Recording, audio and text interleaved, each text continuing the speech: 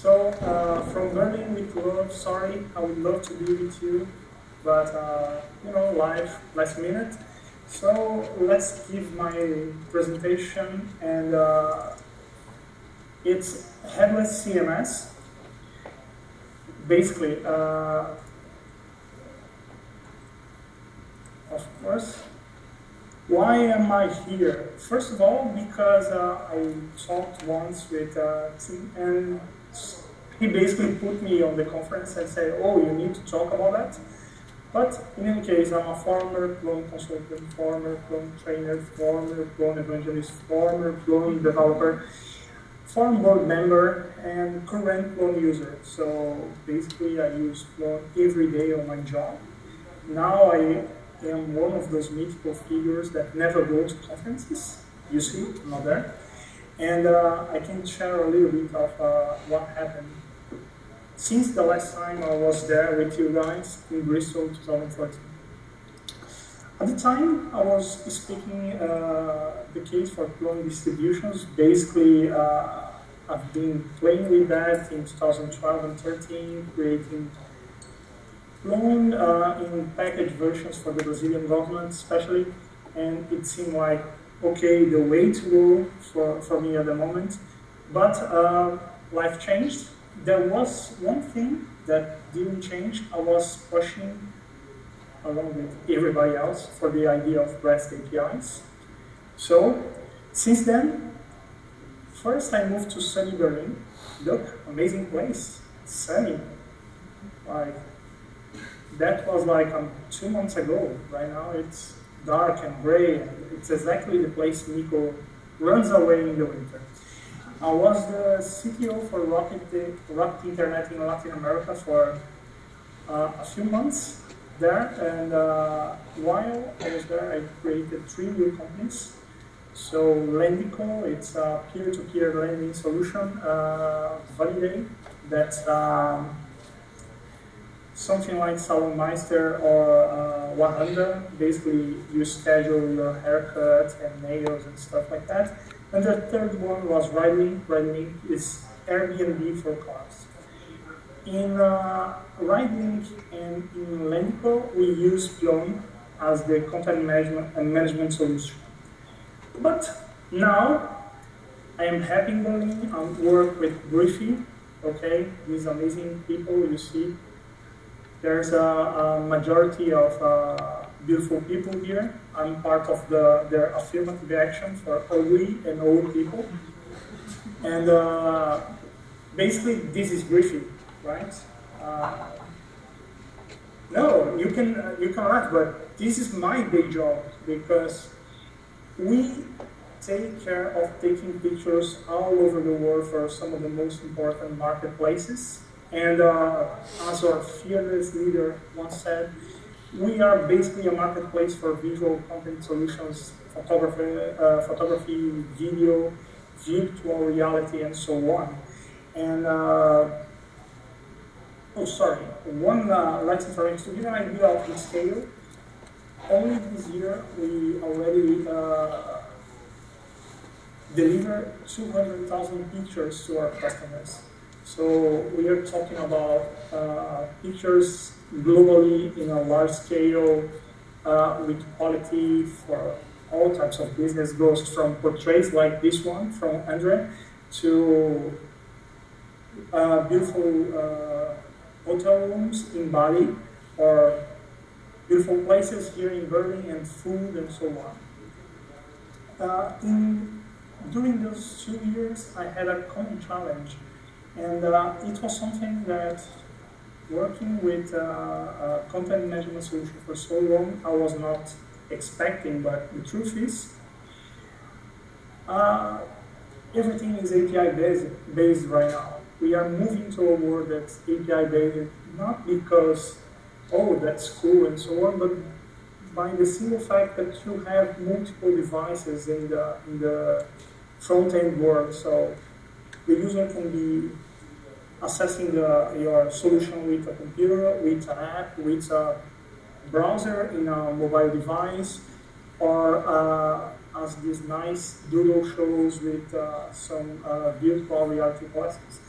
the truth is, uh, life is getting more interesting, but for those who play with uh, the in the, the last mile with the delivery of content to, to, to those devices like a living hell because you have different formats, different platforms, and so on.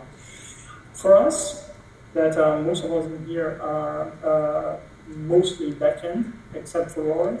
Actually, I want to I want a, a free consultancy on React at some point, but uh, the API is just like a, a, a, contract you have with those devices, right? You will have a bunch of other services or microservices as you want running uh, behind the API, and honestly, CMS is one of them. It's one of the boxes we need to manage to maintain every day, and uh, even though it's important, especially for uh, customer acquisition and so on, we're talking about one. For, for instance, here at Briefy, the image server is way more important. The image server is the one that goes and gets raw uh, image files converted to uh, uh, uh some uh, nice uh, JPEG. so that our QA team can go there, and can go there and evaluate the quality of the picture and so on, generate different sizes and thumbnails and so on and so forth. Payment, quite important in any marketplace like a company this is the kind of challenge you have. Uh, CMS is just another small box inside your API world. Of course, people come with crazy ideas. One of them is like, oh, CMS is a small box and I already, I'm already writing code. Why not write like uh, CMS into our back office solution? And for those of you trying to poke your eyes out, this is PHP my friends. Actually, that was the moment I decided to work with Go again because, okay, I had this project and someone started writing a CMS component and oh, let's start with a controller and then a service and then a manager because it's just managing small boxes. You know, I have those blocks and I build a page on the front end and so on and so forth. In the end, you start like that. That's a terrible solution. Everyone in this conference already tried to play, oh, let me think about creating my own solution. Another bad idea, oh, what if instead of uh, uh, having a common solution for everything, we decide, okay, this part of our site basically runs on WordPress. And everything else, all the other routes and URLs run on something else. And all of a sudden, if you had one delivery problem, now you have two, because oh, someone needs great templates for WordPress. Oh, but also the information needs to be available on your app, and on your uh, needs to be also uh, responsive, and so on and so forth. So honestly, I had to deal with that a few times, and it always starts. No, it's simple, and at some point you find out it's like a, a, a living hell. Is there another way? So creating something from scratch is a terrible idea. Putting some CMS already, CMS uh, uh, solution there is a bad idea. What can you do? Yeah, actually there are some other uh, uh ways of doing that. One of them is this company called Prismic.io, right? They are San Francisco slash Paris based, and they've been doing that for quite a while already. I think they were founded in 2012. It's basically a headless CMS. You go to their site, register, create your application, create the, the content to the web, and so on and so forth. And uh, the interesting part is I learned about this company two days ago when I was preparing this part of the presentation. Because I was, okay, everybody knows about this other company, Contentful these guys are like the, the probably the winner of this market in the long run. They are a Berlin-based company. They have been doing that since 2012 as well. They have some really big customers and uh, a great technical team. Uh, I have some friends there. They have one of the best uh, tech evangelists I've known. And also, they have a, an amazing, incredible, fantastic marketing budget.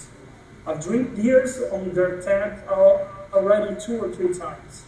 But what's important, they raised already $16 million and uh, their solution works. Of course, when you're talking with their DevOps, their sysadmins, you feel the pain of, oh, how hard it is to create a solution, a global solution like that. But in the end, it works. They're happy. They are making money. They, I would say they are profitable, but let's be honest, I have no idea. Nobody does in this world. So, uh, in common, uh, I'm going to basically say the tech version of what they have in common is everything is through the web. Everything is really user-friendly. Everything does not require a really skilled developer to go there and create the data entry to publish the content. And uh, you know, in the Plone world, we have Appido, we have now Dexterity, we have Dylan Jay that's not there today, but Dylan Jay yelling all of the time, like, we need to do to the lab, we need to. That's the point. This is the kind of solution people uh, uh, pay big buck to, to, to run their business on. Also, they have really good documentation. Okay, considering uh, their, what they're playing there is a moving target because every customer is going to come out with a, a different solution. They're doing pretty well. And uh, this is the type of stuff that you do for the Plone community, and this guy will do on a, on a, on a larger scale. And then they have something that we are starting to get there. Uh, I would like to thank Eric for the effort on the Plone client. Even though uh, I've been trying to, to compile and build on my machine since forever, every time Angular comes up with a different error, like, oh, this is missing, that's missing. And by the way, Eric, the time I sent you the message was about that. I was trying to, oh, let me see if it's possible to do this. Didn't work. I found another way, and that's it. But in any case, uh, Contentful, they have SDKs for Ruby, PHP, Android, uh, iOS, and they have an unofficial one for Python, they have for Java, and so on and so forth. This is the kind of stuff. If you have an API, you create a, a dump-proof solution for users to start developing that. And okay, why am I using Plone for that? First of all, some reasons are really good. The first one is avoiding more custom PHP development, especially when to create anything using a, a decent web framework in PHP, you need to touch like a dozen files. And honestly, I missed ZCML. I missed everything from going when I was like, okay, now I need to register a manager and uh, uh, do the dependency injector in here and there and so on and so forth. It was insane.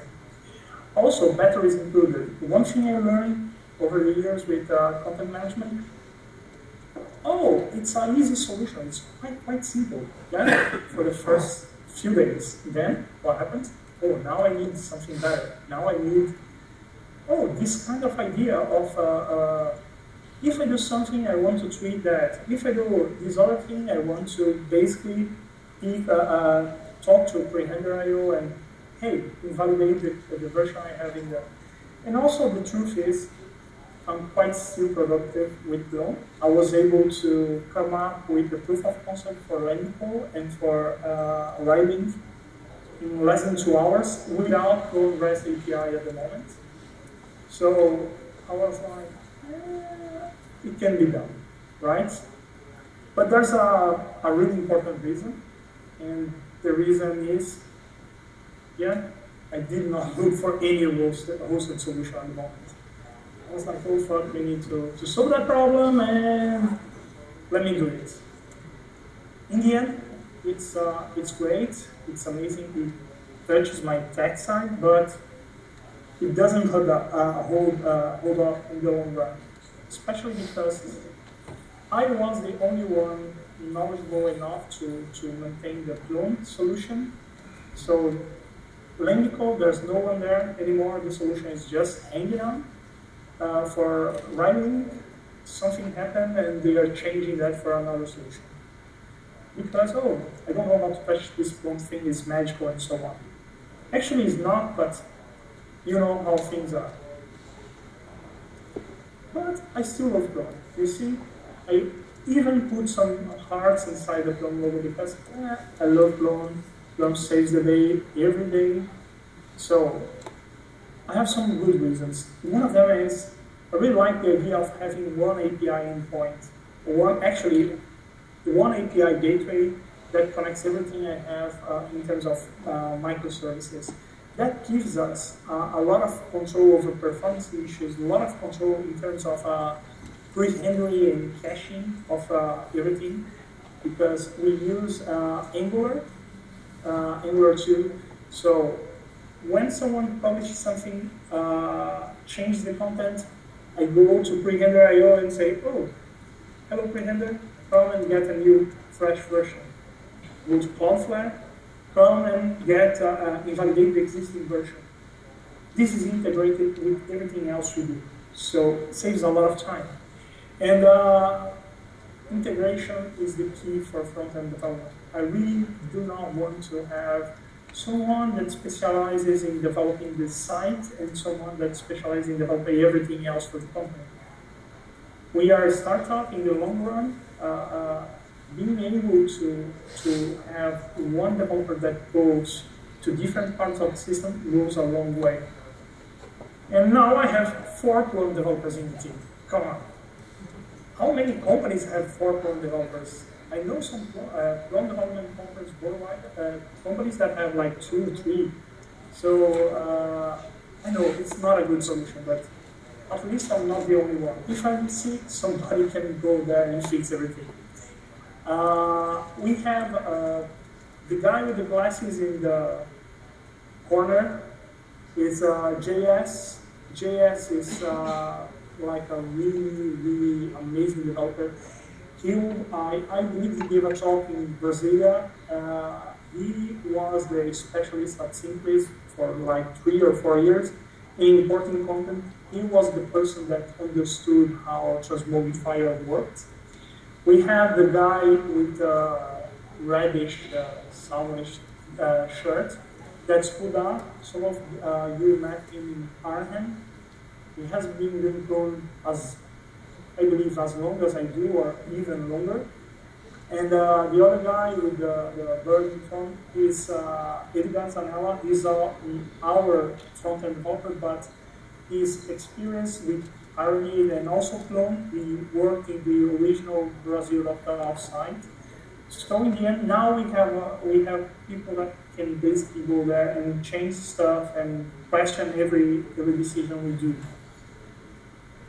and we have some results.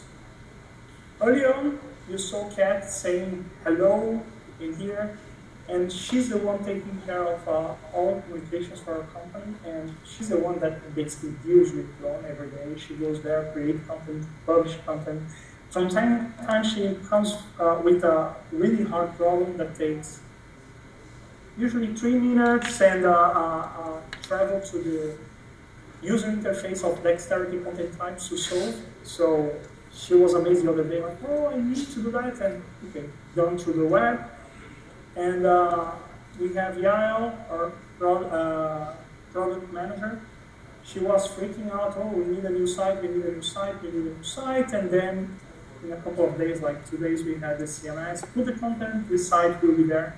We launched the site on time. Uh, considering uh, at that moment we had one front-end developer and that person was, you know, yours truly. So I had to learn TypeScript in a few days. It was really interesting. And I learned to hate uh, the, the whole JavaScript environment with, okay, I developed everything with LC2 of Angular okay, there's a new version, let me upgrade, bad idea, a whole days goes to waste and so on and so forth. You know that, I've been following some of you complaining about that, I think it was Timo the other day, complaining about Webpack. Thank you, you saved me a lot of time, I avoided that. And uh, that's, uh, that's how, uh, uh, how painful it is. I keep looking at you guys and saying, okay, if someone goes there and is not happy, I'm not going there as well.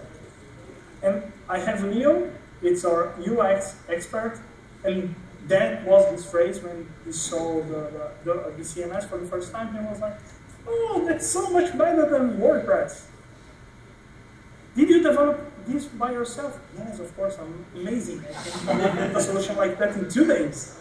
No, no, no. And uh, he was impressed. And also, there's Alina, or uh, our designer, and I asked for a phrase, and she was like, come on, I used only once. Why are you asking me? Yeah, because, you know, I needed four, so that's it.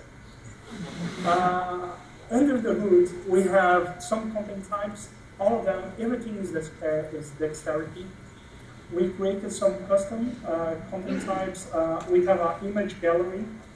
We have a team roster. So if you go to briefy.co, you're going to see the, uh, these contents there.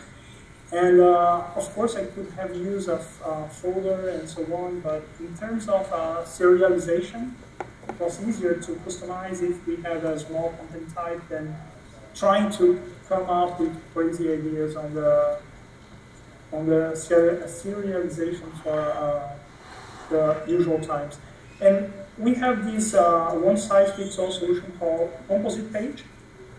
Basically, it's a container for rows of blocks. So uh, think about uh, um, content panels, uh, collective cover, uh, and all the other solutions, even Mosaic, without caring about the real uh, display and positioning of everything. It's like, give me a list of elements, and each one of them will be typed, and on the front end, the magic will happen, right?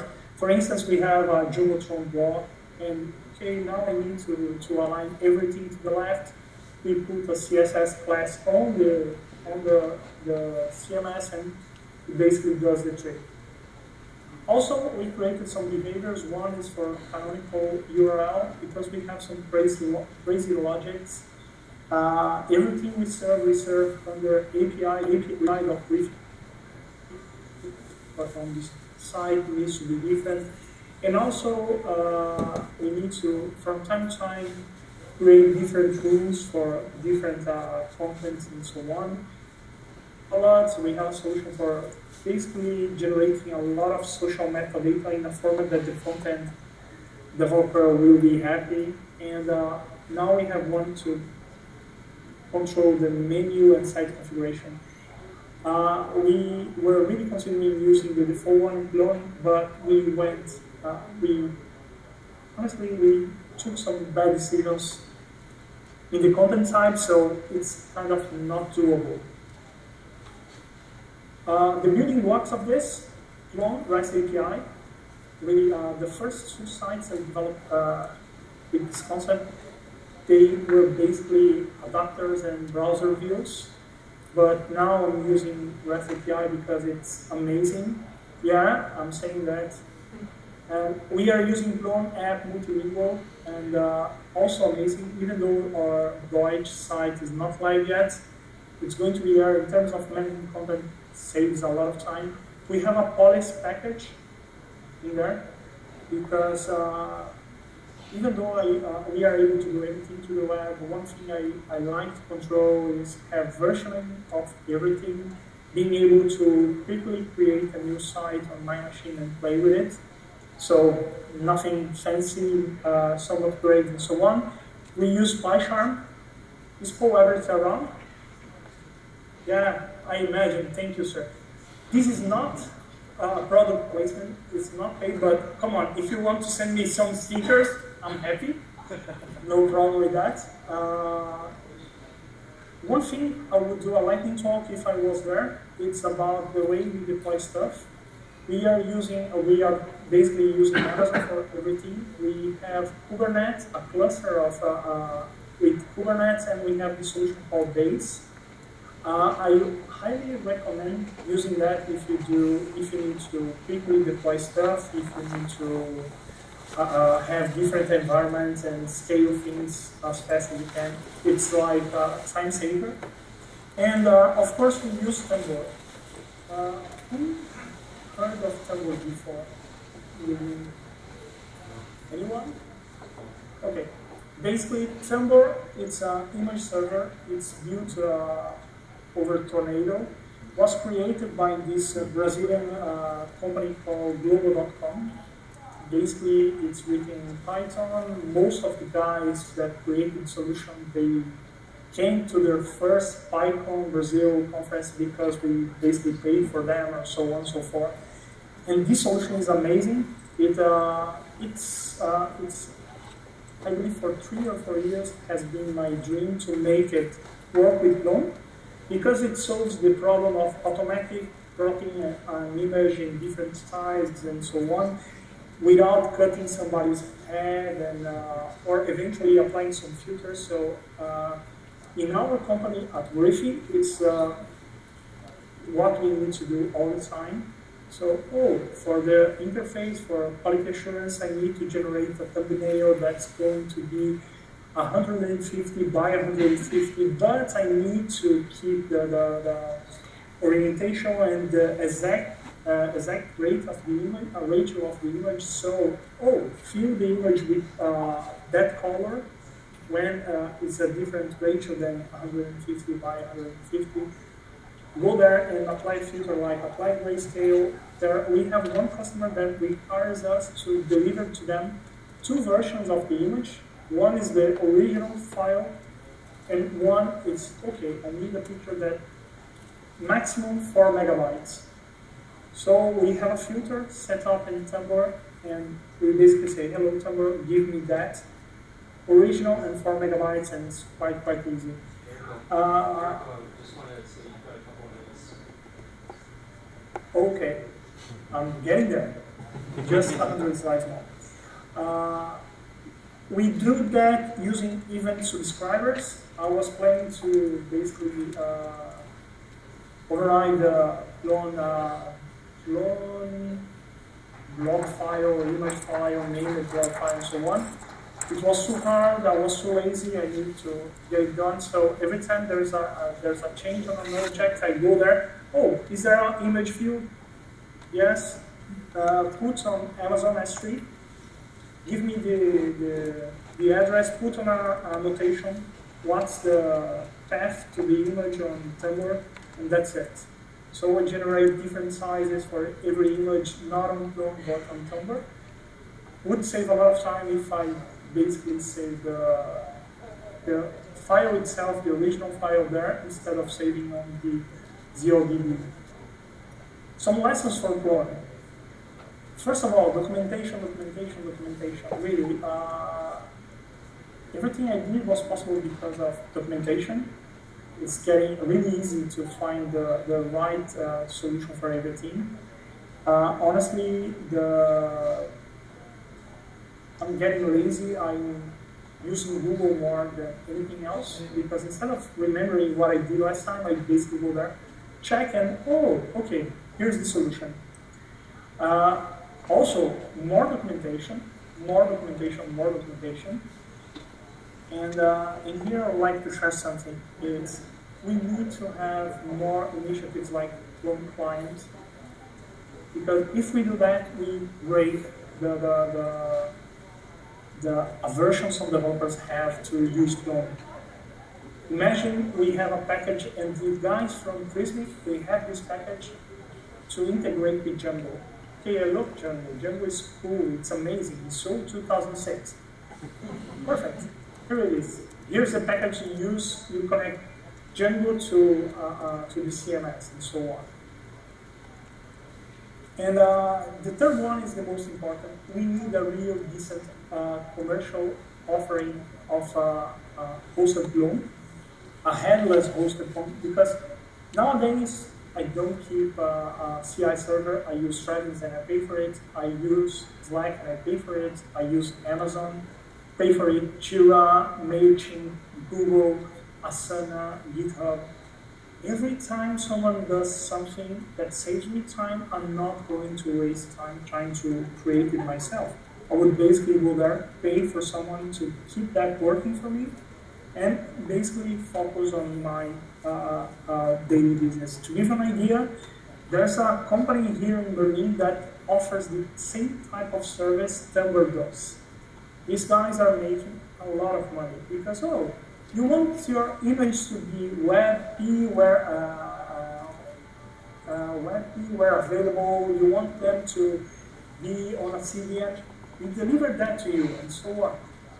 And uh, I think a company that does that, it's going to be awesome. And the truth is, my planning is in one year to basically uh, stop with the CMS development year and move to a hosted solution. Because we have a bigger fish to, to, to catch every day. And hello, questions? And uh, let me put my face back. Okay. So, open for questions, technical ones, not technical ones. The quality of beer is amazing, it's cheap as well.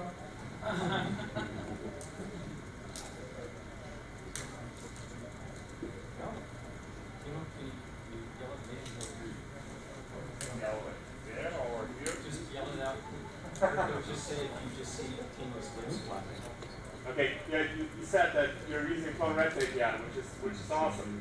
Uh, I was just wondering if there are any like missing pieces that that you would need from like Plone REST API. Honestly, uh, when I started with uh, and uh, Writing, REST API was nowhere close of what I needed right now it's solving more problems than uh, the ones I could think of. Actually, uh, I keep thinking like the services uh, that are being provided on uh, the REST API, they show that, okay, I solved a lot of problems in the wrong way. So I need to go back and refactor my solution. Uh, one thing I, am still doing, and uh, that's an interesting problem to solve is I mark all the requests with uh, with a mark, uh, yeah, marker interface to make sure that okay, if someone requests that page, I keep the same address as always.